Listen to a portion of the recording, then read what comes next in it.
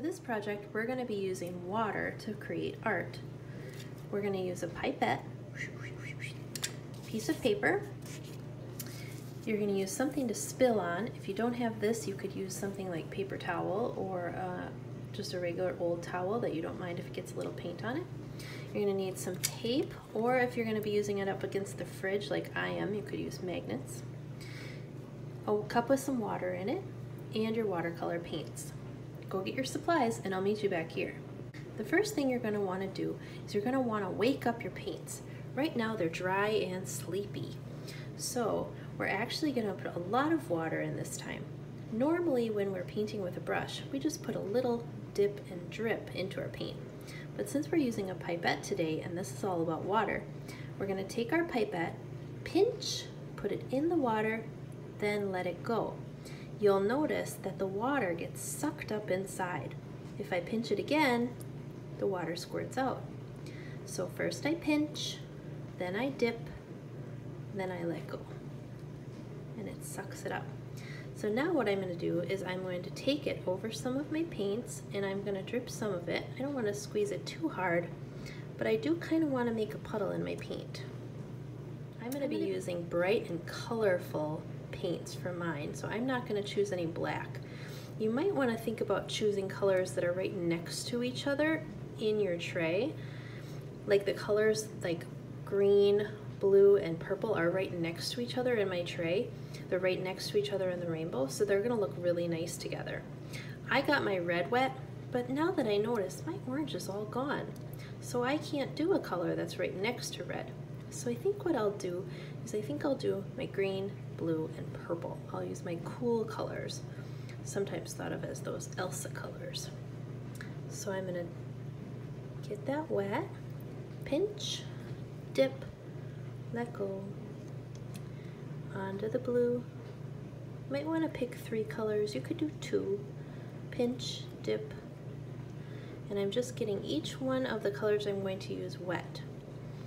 Now what I'm gonna do is I'm gonna set up my paper. I'm right over here next to my refrigerator and I'm going to be attaching my drip sheet, it's for catching all the drips, to my refrigerator because for this project your paper needs to hang and I don't have an easel.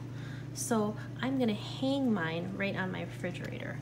So I'm first gonna use my drip sheet behind and I'm gonna leave some of the drip sheet on the refrigerator and I'm gonna leave the rest on the floor. So nothing drips in a puddle on the floor. My drip sheet will catch it. Again, if you don't have one of these drip sheets, you can also use a paper towel or an old towel as long as you ask an adult first if that's okay to use. So I used some magnets to hang up my drip sheet. And now what I'm gonna do is I'm gonna use some tape and I'm going to tape my piece of paper right on here to my drip sheet. I just wanna make sure that I'm only gonna put piece of tape right along the top. I have to decide which way I want it to go. This way, like portrait style, or this way, like landscape. Then I need to put the tape across the top and attach it to my drip sheet. So now I have my piece of paper taped onto my drip sheet. My drip sheet is being held up by magnets onto the refrigerator. I could also tape it up there and I could just use the wall. I don't have to use the refrigerator.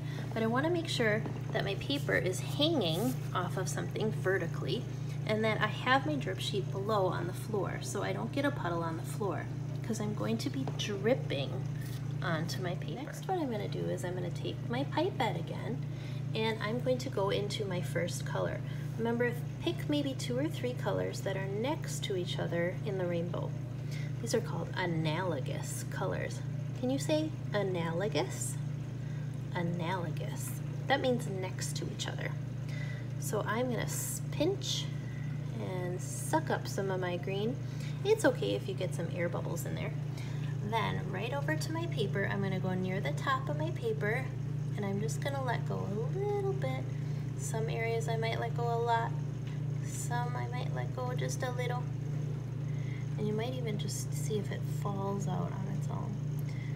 You don't always have to touch the paper, but you'll get more on the paper and less on your drip, drip pad if you touch the paper. Now I'm gonna get more and make my picture look really beautiful using drips of water.